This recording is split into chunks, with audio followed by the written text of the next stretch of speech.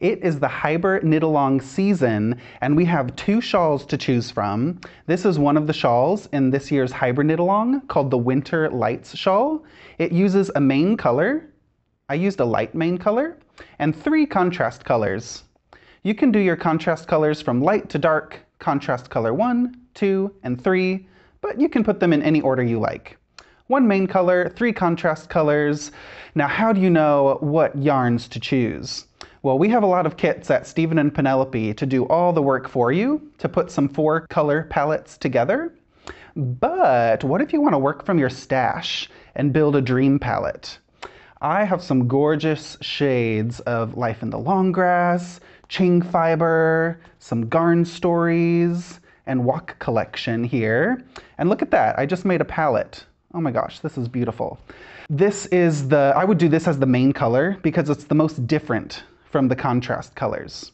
So if you're working from single skeins, I would take a look and see, okay, I love these colors. Which one is the most different? This one's really dark, so I would use that as the main color. If you don't want a dark main color, what if we go here? This is a beautiful Life in the Long Grass colorway called Beach Grass and it has some speckles, but it's really, really light and neutral. So it's gonna contrast really well with all three contrast colors.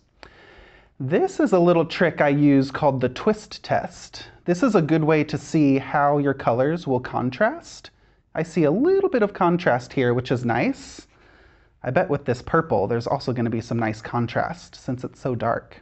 So that's a really good way to see what kind of contrast am I gonna get in my shawl.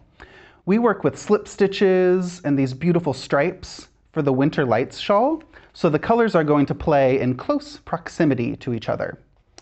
So that was a fun palette, but what if, okay, let's play a game. Can you make a really ugly palette? The answer is no, because these yarns are gorgeous, okay? Don't, don't even try. but these colors, hmm, I don't know how they're gonna work. These are really bright, crazy colors. Which one is the most different?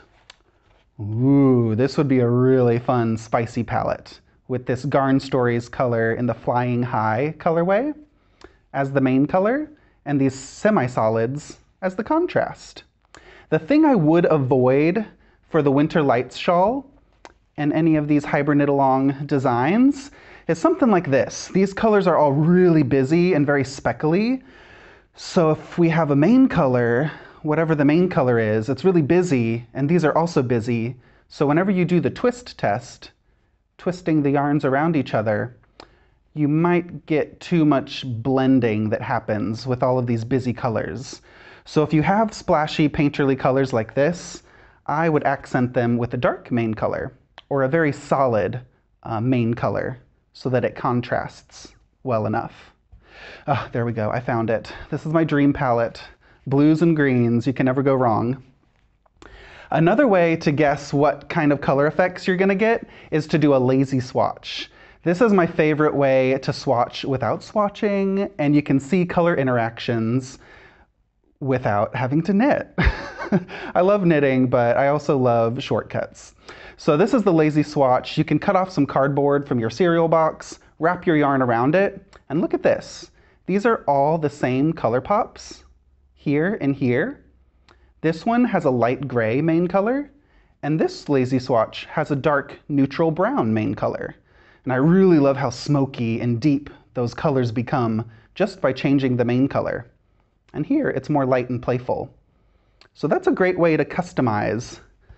Grab some colors from your stash, put them with a moody main color, and do the lazy swatch and see what that looks like or put them with a light bright. This is really fresh. I love this snowy white speckled yarn from Life in the Long Grass. So a great way to do the lazy swatch to see what color effect you get and just play around. Pull all your favorite single skeins from your stash and just see what you can make. Oh my gosh, it's too much fun. Contrast colors from light to dark. Make sure the main color contrasts. And here we have the Winter Lights shawl, that main color dividing all those contrast colors and the contrasts popping as they make their way to the border of the shawl. All right, I think I just found like 15 different color palette options. I don't know which one to do first.